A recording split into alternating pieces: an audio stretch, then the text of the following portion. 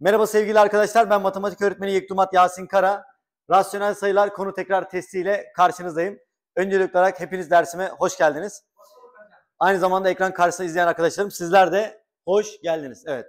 Şimdi arkadaşlar konuyu detaylı bir şekilde anlattık. Burada tekrar yapacağız. Şimdi birinci sorumuz bir rasyonel sayılarda işlem sorusu. Ben şöyle altında bir boşluk ayarlıyorum hemen. Şimdi burada ne yapacağız? İlk önce paydaları eşitleyeceğiz. Kaçta eşitlenir? 2, 3, 5. Kaçta eşitlenir? 30'da. O zaman bunu 15 ile genişleteceğiz. Bunu 10 ile. Bunu da 6 ile genişleteceğiz. 15 kere 1, 15. 15 kere 2, 30. Eksi 10 kere 1, 10. 10 kere 3, 30. Artı 6 kere 1, 6. 6 kere 5, 30. Bunlar arkadaşlar her zaman böyle ayrı ayrı yazmanıza gerek yok. Bunu da burada tekrar etmiş olalım. Tek bir payda da yazabilirsiniz. Yani payda 30 yapabilirsiniz. Sonra şu kesir çizgilerinin önündeki işaretleri dikkatli bir şekilde yazabilirsiniz. Mesela bunun önünde işaret yok. O zaman ne var? Artı var. Artıyı da yazmaya gerek yok. 15. Burayı eksi 10. Burayı artı 6 olarak yazdınız. Peki buradan ne gelir? 15'ten 10 giderse 5. 6 daha 11. 11 bölü 30 gelecektir. O zaman sorumuzun cevabı 11 bölü 30. Hangisi şık? şık? Adana. Adana. Adana hocam? Adanalı değilim. Nereli olduğumu ifşa etmeyeceğim hocam. Tamam geçiyorum ikinci soruya. İlk sorumuz kolaydı. Şimdi arkadaşlar bu sorularda dikkatli olmamız gerekiyor. Ben yine şöyle sorunun altında kendime bir boş zemin oluşturacağım. İşlem önceliğinde önce ne var? Önce çarpma bölme var. Şimdi burada öncelikli olarak 2'yi, şurada gördüğünüz 2'yi neye böleceğiz? Eksi 1 bölü 2'ye böleceğiz. Benim size tavsiyem işareti karıştırmamak için. 2'nin işareti ne? Artı. Bunun işareti ne? Eksi. Önce işareti yazın. İşaretiniz ne olacak? Artıyı eksiye bölerseniz eksi olacak. Peki 2 ile 1 bölü 2'yi böldüğünüz zaman yani 2'yi 1 bölü 2'ye bölerken nasıl oluyor? Şu bölü neye dönüşüyor? Çarpıya. Bu kesir ne yapıyor? Ters çevriliyor. 2 bölü 1 oldu. Artı 1 bölü 2. Yani öncelikli olarak ne yaptınız? Şuradaki bölme işlemini çarpıya dönüştürdünüz. Paydayı pay yaptınız. Payı payda yaptınız. İşareti de önceden belirlediniz. Buradan ne gelir arkadaşlar? 2'nin altında 1 vardır. 2 kere 2 4. Eksiyle çarpın. Eksi 4 artı 1 bölü 2. Bunun yine uzun yoldan anlatmıştık. Burada kısaltalım. Eksi 4 ile 2'yi çarpıyorsunuz. Ne yaptı? Eksi 8. 1 ekleyin. Sonra şu 1 ekleyin. Eksi 7 bölü 2 olacak. Hangi seçenek? Adana. Adana. Konu anlatımında çok detaylı anlattığımız için burada da birazcık daha işlemlerimizi hızlı basamaklarla yapıyoruz. Sıkıntı var mı? Nasıl? Sayfayı tekrar söyler misiniz? Şu anda bunda evet. Bunu da göstermiş olalım. Tamam mı?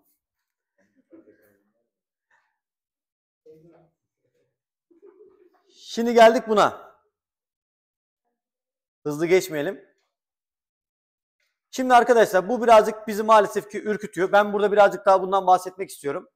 Şu alanda bahsedelim. Mesela 2 üzeri eksi 1 gördüğünüz zaman benim size tavsiyem şu. 2'yi önce 2 bölü 1 olarak düşünün. Üzerinde ne var? Eksi 1 var. Şu eksinin görevi paydayla payı yer değiştirmek. Yani ne yapar? Takla atar. 1 bölü 2. Artık eksiği yazmayın. Çünkü eksi görevini yaptı. Diğer ifadeyi yazın. Mesela 3 üzeri eksi 2. Ne olacak? Yine mantığını anlatalım. 3 bölü 1 olarak düşünüyorsun. Üzerinde eksi 2 var. Eksi görevini yapsın. 3 bölü 1 üzeri 2. Bir dakika eksi görevini yapınca ne yapacak? 1 bölü 3 olacak. 1 bölü 3 oldu. Artık eksi görevini yaptığı için eksiği yazmadım. Buradan da arkadaşlar ikisinin de karesini alırsanız 1 bölü 9 geliyor. O zaman şöyle yapalım. 2 üzeri eksi 1 yerine ne yazacağız? 1 bölü 2. Şurada bölü işareti var. Kalsın. 3 üzeri eksi 2 yerine ne yazacağız? 1 bölü 9. Aynı mantıkta 4 üzeri eksi 2 de nedir? 1 bölü 4'ün karesidir. O da ne yapar? 1'in karesi bölü 4'ün karesinden 1 bölü 16 yapacaktır. Mantığını anlattığımız için orayı hızlı geçtim. Artı 1 bölü 16. Şimdi şuradaki bölme ilk başta ele alacağımız işlem. neye dönüşecek? Çarpıya dönüşecek. Peki çarpıya dönüştüğü zaman 1 bölü 9 ne olacak? Ters çevrilecek. Burada da 1 bölü 2 var. Artı 1 bölü 16. Şimdi buradan 1 ile 9'u çarpın. 9. 2 ile 1'i çarpın. 2 artı 1 bölü 16. Burayı ne yapacağım? Genişleteceğim. Kaçla? 8 ile. 9 kere 8 72. 72 artı 1 tek payda yazıyorum. Bunu da 1 ile genişlettiğimi varsayın. Paydamız artık 16. Ne geldi? 73 bölü 16 geldi. Var mı şıklarda? Ceyhan'da var. Burada hızlı olmanız lazım. Mesela 8 üzeri eksi 2 gördünüz. Direkt ne yazacaksınız? 1 bölü 64. 9 üzeri eksi 2 gördünüz. Ne yazacaksınız? 1 bölü 81. 2 üzeri eksi 5 gördünüz. Hemen ne yazacaksınız? 1 bölü 32. Bunlara lütfen evde çalışın. Gördüğünüz zaman hızlı bir şekilde yazabilin. Çünkü bunlar size lazım olacak. Hızlı gitmiyoruz değil mi?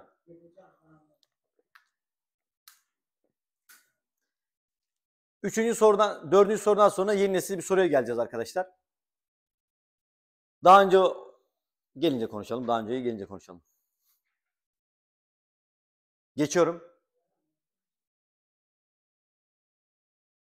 Şimdi burada olayımız nasıl? Evet, görüntü itibariyle arkadaşlar zor bir soru değil. Sadece dikkat gerektiriyor. Dikkatimizi toplayalım. Ben şu altını boşaltayım sorunun. Evet. Tamam. Şimdi ilk önce nereyi yapacağız? Önce parantezin içini yapacağız. 2 üzeri 3 nedir arkadaşlar? 8. 3 üzeri eksi 2 nedir? 1 bölü 9. Artı 1 bölü 9. Yaptım orayı. 4 üzeri eksi 2 nedir? 1 bölü 16. Bölü 2 üzeri eksi 1 nedir? 1 bölü 2. Arada ne var? Eksi var. Şimdi burada parantezin içini yapacağız ya. Parantezin içinde de önce neyi yapacağız? Çarpmayı Çarpmayı yapacağız. Sonra toplamayı. Çarparken 8'in paydasında ne var? 1 var. 8 kere 1'den 8. 9 kere 1'den 9. Artı 1 bölü 9. Eksi. Şurada da bölmeyi yapalım. 1 bölü 16 çarpı bunu da ters çeviriyorduk. 2 bölü 1. Buradan arkadaşlar sadeleştirmeyi şurada göstereceğim. 1 kere 2 2 16 kere 1 16 2 bölü 16'dan ne gelir? 1 bölü 8. 2 bölü 16'dan 1 bölü 8 geldi. Eksi 8 bir tane yaptı. Burayı da şurada anlatacağım. 9 bölü 9'dan 1 geldi. O zaman eksi 1. Kısa yoldan mı yapalım? Uzun yoldan mı yapalım? Kısa yoldan yapalım. Nasıl yapıyorduk? Eksi 1 ile 8'i çarpıyoruz. Sonra 1 ile topluyoruz. O zaman ne olur? Eksi 8 artı 1 bölü 8 olur. Buradan da ne gelir? Eksi 7 bölü 8 gelecektir. Doğru değil mi? Tamam. Alanlar alsın. Almayanlar sıradaki soruya baksın.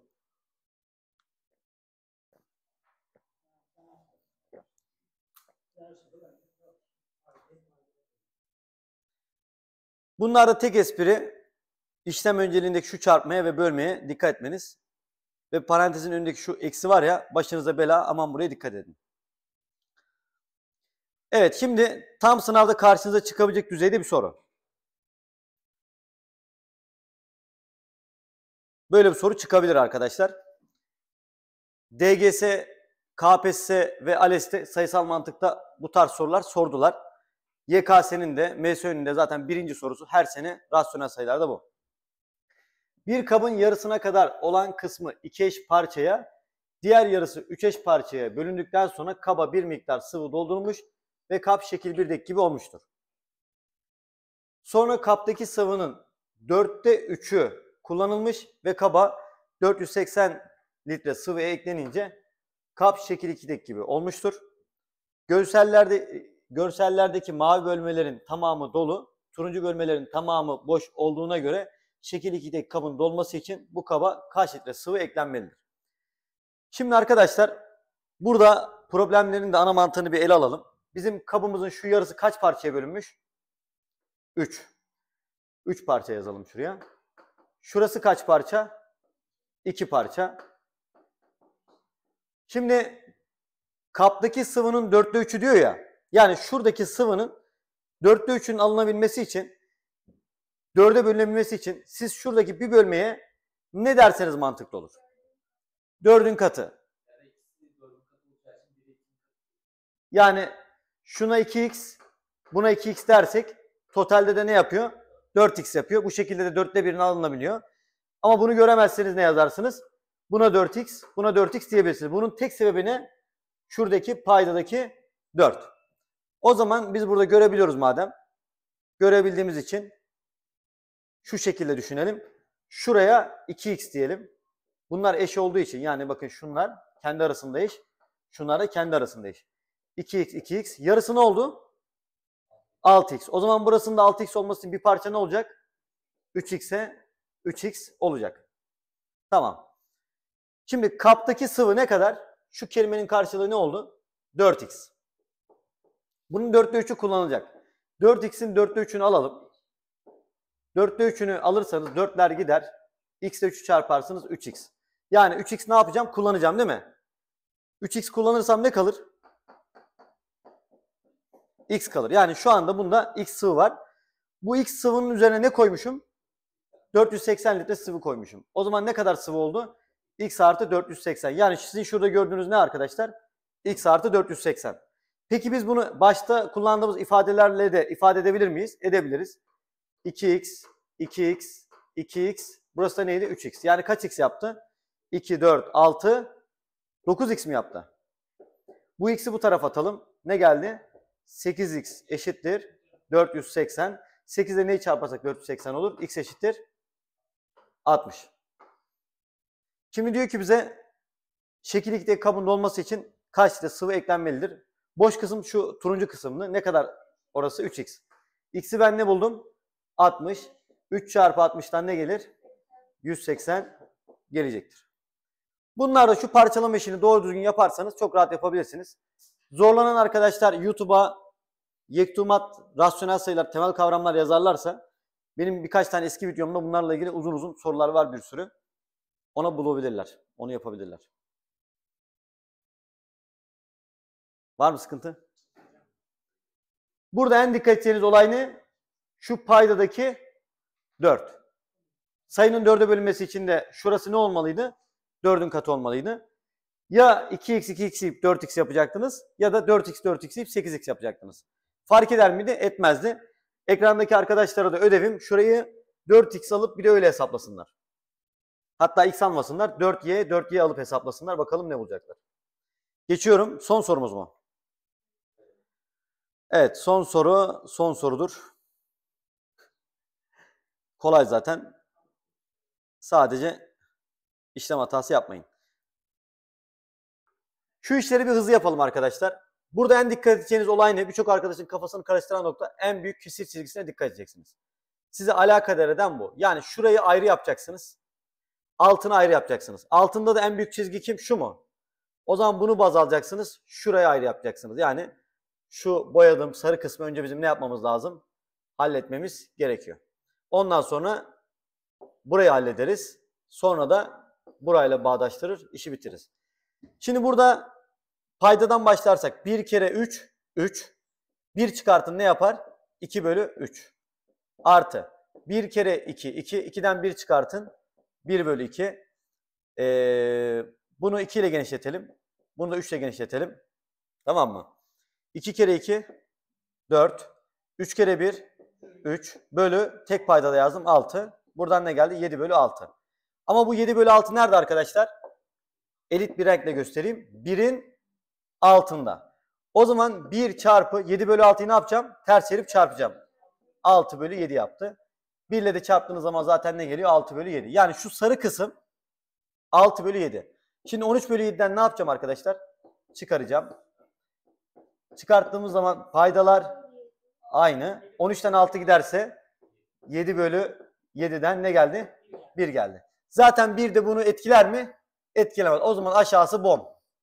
Etkilemiyor. Hiç aşağıya bakmanıza gerek yok. Direkt 1 bölü 2 eksi 1 bölü 8 hesaplasanız da olur. O zaman bunu 4 ile genişletin. Bunu da 1 ile. 4 eksi 1 bölü 8. Buradan ne gelir? 3 bölü 8 gelecektir. Bu da bu. Son sorumuzdu. Bitirmiş olduk. Bu arada dersimize katılan KPSS, KPSS değil de Abdullah Aysan hocamız, Semih hocamıza ve Dilara Hanım'a da ayrıyeten teşekkür ediyorum. Konuk oldular. Ee, kendinize iyi bakın. Allah'a emanet olun. Sizi duymadı ya.